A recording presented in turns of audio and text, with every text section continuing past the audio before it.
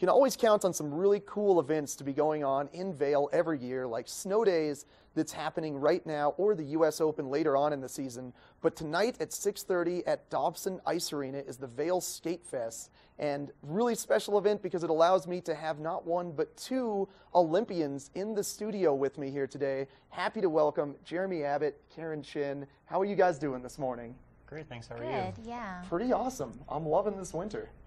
That's honestly the weather here has been fantastic. Like driving up in Bluebird days, like I want to get out on the mountain. Yeah, yeah, but kind of tough because you guys got to focus on the figure skating. Mm-hmm. Yeah, But it's just beautiful, the snow and everything. yeah. No, you. We were just chatting. You just moved from California to Colorado Springs, so Mm-hmm. you've been pretty happy experiencing snow in winter now. Yeah, it's beautiful, like I mentioned before, and obviously the cold is something that I'm not used to, but um, it's great. Yeah. I love it. Yeah. As long as there's no, you know, uh, old Swedish proverb, there's never cold weather, only bad dressing. So as long as you're dressed warm, you're in good shape. Yeah, yeah, exactly. Um, so I'm sure our viewers are super curious. Tell me a little bit about Olympic experiences for you guys. Um, so I was in Korea. Um, it was great. Like it's always been my dream to make the Olympic team, and so it was a dream come true. I had a lot of fun. Opening ceremonies was a blast, um, but it was also just such a huge blur. Um, everything happened so fast, but there's nothing that I would have changed. Yeah, yeah. Mm-hmm. How was how was the overall like pressure of the competition? Were you able to to block that out, or was was that something that was constantly in your mind?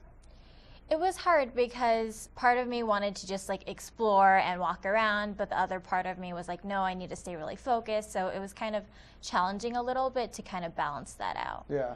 Would you would you say the same, Jeremy? Uh, yeah, I mean, I went to 2010 in Vancouver and 2014 in Sochi, um, and I mean, both of them were very different experiences for me. But uh, it's once you're on the ice, it's like any normal competition, but it's everything that surrounds it that like without being there, you can't really prepare for it. There's just so much intensity and so much energy, and um, it's really hard to kind of just like stay relaxed because like everything's buzzing and there's cameras everywhere, and you have so many interviews to do, and it's like we don't.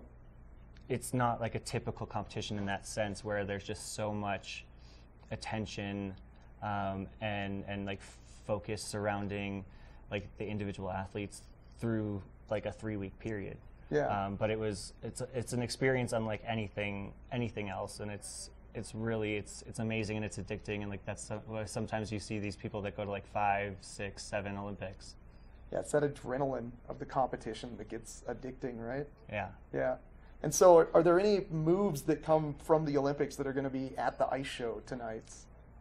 Uh, yes. Um, Some. Some. I mean, Some, okay. this is. It's not going to be like a, comp- a competitive style event where you're going to be seeing like lots of quads and, and triple axels, but uh, you'll be seeing lots of triple jumps. Uh, the, we have pair teams that'll be doing throws and overhead lifts and like all that acrobatic stuff. Um, but it's definitely uh, it's going to be very entertaining for all ages. You know, we have we skate to just a wide range of music, and you'll see um, a huge range of talent as well. Um, and you know, it, there's really kind of something for everyone to enjoy an event like this. Like you will have a lot of acrobatic tricks and a lot of really intense athletic uh, feats, but there, it's also very entertaining and artistic as well. Okay, okay. And are you guys? Do you have a particular favorite song that you guys are going to be dancing to or skating to? Um, well, I'm in an opening number, and then I'm also doing like um, one of my competitive programs, but like toned down a little bit. Um, but yeah, I mean, I feel like shows in general um, is even more fun to watch because there's not that um, kind of pressure and competitive atmosphere, and everyone's just out there having a good time, and you can really tell with all the skaters. Yeah, yeah. I mean, it's like you said, much more relaxed, less pressure, Yeah. less intensity. Yeah. And so, when it comes to shows like this, um, kind of kind of curious in terms of the doubles to the singles thing. Is it is it segmented or is it just does it feel like one big show that goes on? Like, is there an interconnected theme throughout the whole thing? Um, there's not an interconnected theme, but it's not like it's not separated by like uh, disciplines. It's it's very uh, free flowing, um, and so you'll have you'll see like a pair team, and then you'll see a single skater, then you'll see a dance team, and then another single skater, then a group number, and like it's not segmented into like different categories. Okay. Um, it's just it's like very kind of free form, free flowing. Yeah. Well, it sounds like a blast. Yeah. Excited to get there, and that's at Yeah. 6:30 at Dobson Ice Arena tonight, Yes. right? Yeah, and Awesome. um, people can still get tickets um, starting at nine o'clock at the arena. Okay, perfect. Well, thanks for coming on, guys. Good luck tonight. I'm sure it's going to be super fun for you guys to not have that pressure of competition weighing down on you.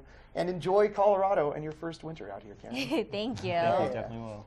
All right, coming up next, we've got Claire with our Supergoop UV forecast.